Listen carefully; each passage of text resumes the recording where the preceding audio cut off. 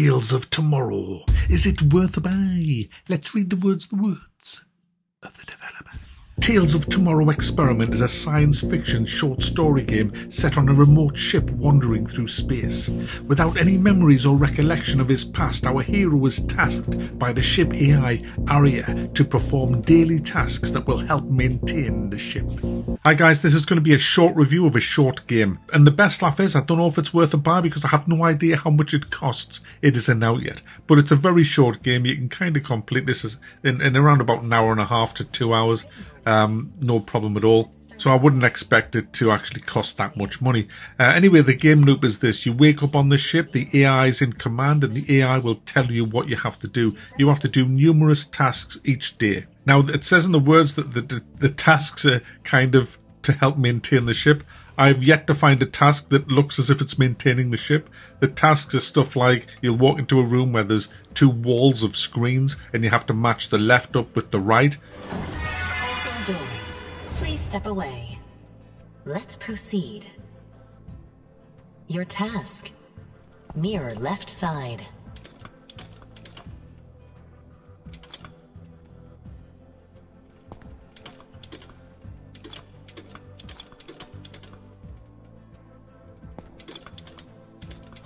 you'll go into another room where there's a cube, uh, a big sort of shape with cubes missing. You have to guess how many cubes is missing out of that. Stuff like that. But the real game is not so much the puzzles. The real game is the sabotaging of the ship, the ship AI rather, so you can escape. To do that, you've got to hunt down five floppy disks.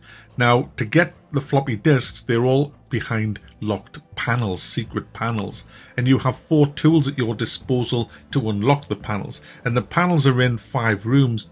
I think it's five rooms in the maze part of the ship. Now, in between your tasks, if you say do a good task, you'll get maybe a couple of minutes break. You use that couple of minutes to grab the tools, rush into one of the areas and start undoing all the locks on the panels. Get into the panels, avoid the laser beam kind of uh, defense mechanism, get to the tape, get out again and make sure you make it in time to your next task. Now the problem with this is you're using up uh, energy and food and so you're getting weaker. So you have to kind of manage it's a bit of management between doing the tasks properly getting them done getting food and being able to keep your energy levels up high while you're doing all this. Now the problem i have with the whole of this kind of concept is the ai can see everything you're doing. So the ai should know that you've nicked tools out of the storage and are actively dismantling secret passages and going in and taking shit and yet the AI seems completely unaware of anything that you're doing that's untoward, which is a bit nuts, but never mind.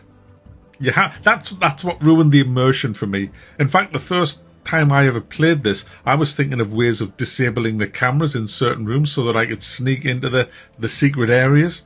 I guess I was overthinking. I guess this is the problem with games these days.